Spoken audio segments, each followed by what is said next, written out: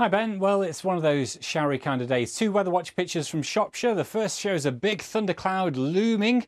The next, five miles down the road, shows probably the results of that passing cloud, a big heavy downpour working through. And weather really has uh, taken a big turnaround from the exceptionally dry weather we had in April. Leuchars in Fife in Scotland, one of the driest places with just three millimetres of rain. So far this month, they've already had well over a month's worth of rain, and there's loads more rain to come, not just for Scotland. This is for the whole of the British Isles in the week ahead. It is going to be a very unsettled week with lots of showers. Why? Well, that's down to this. It's an area of low pressure that's right over the top of the British Isles. Now, the thing is, these things would normally work their way northwards and eastwards out of the way, but that can't happen at the moment because we've got a big blocking area of high pressure stopping the low in its tracks. And so instead, it stays overhead for much of this week.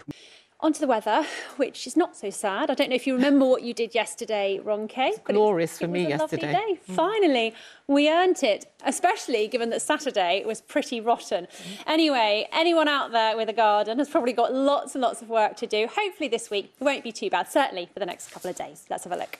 Well, I hope you had a lovely start to the week. We got some great weather on Sunday, getting up to 21 degrees. So just offsetting the spring flowers beautifully.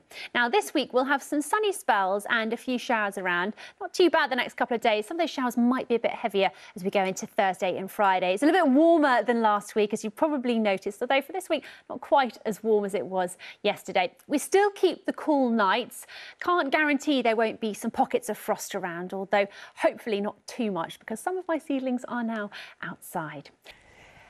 Hello, good evening. Low pressure dominates the weather for much of the rest of this week, so it is looking rather showery at times. More wet weather in the forecast, and it's good news for the parks and the gardens across the capital after that very dry April.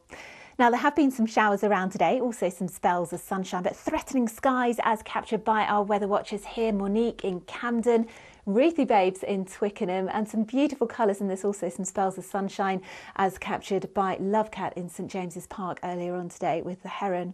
That's going to be pushing its way northwards.